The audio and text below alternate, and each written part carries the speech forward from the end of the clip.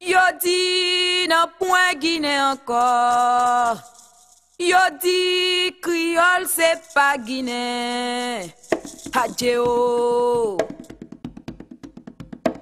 When I first heard about the earthquake in Port-au-Prince, my first reaction was actually rather emotional. And if there's one country that doesn't need another disaster, it's Haiti.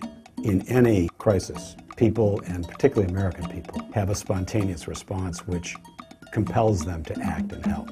What our team found on the ground was a situation of total devastation and total chaos. We were able to get in there on a small corporate plane that one of our sponsors had given us. From the moment the earthquake happens, lives are in the balance. And the quicker we can get there, the more lives we can save.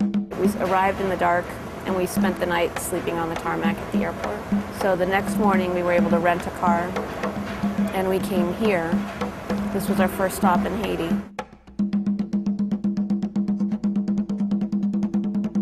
Il y avait des centaines de patients blessés. Vrai, il, fallait, il fallait s'en occuper. On a dû opérer les patients à l'extérieur. On a dû amputer des patients avec de l'anesthésie locale.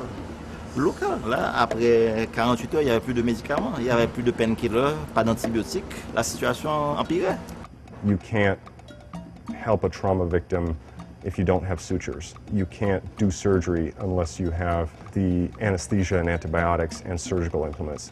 And that's what we bring to the picture. Quand on a eu l'aide de l'américaine, maintenant, ça a aidé énormément puisque j'ai eu beaucoup d'antibiotiques. J'ai reçu de l'américaine a lot, a lot of things. Sans ça, on n'aurait pas pu s'en tirer. The doctors used to pull up to the driveway in the back there and we just load them up with whatever they needed. Si nou gon problem, on, on doule, menm kote a medikaman gata ven jwen nou, nou servi ave, lo bien okipe nou. The medication you give to the hospital has reached her because she said there was not a time that she would ask for something that right away it was not provided. Tous les deux pieds étaient infectés et puis était juste dit faut que couper pied. Mais on coupe pied ça pendant deux fois. Oui, on a un médicament gratuit. Moi pas payé et que je suis. She thanks you for, for what you've said that has allowed her to be sitting here and being alive today. Hi, Gladys. It's Rachel with AmeriCares. Hi, Dr. Charles.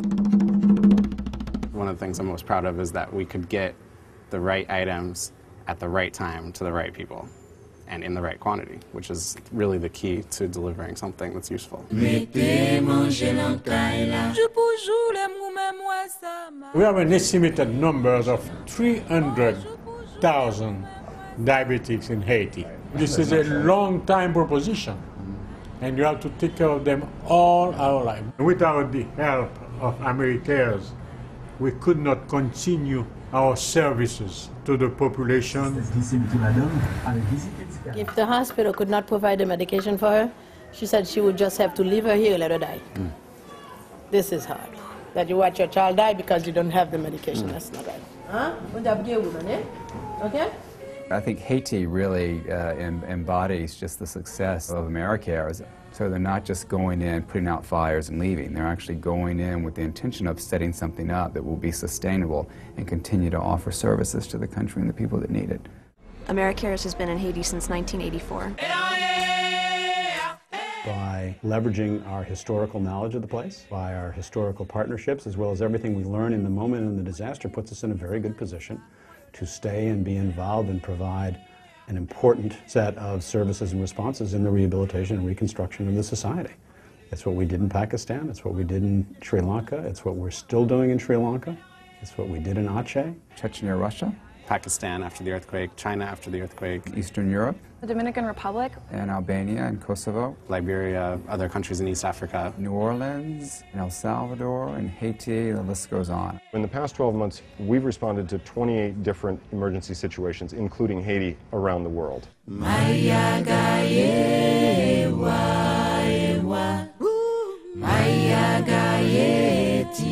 It's sort of in the DNA of the organization. As long as you have someone in front of you who you can help, you help them. 147 countries, $9 billion in aid. Your passion to help, our ability to deliver.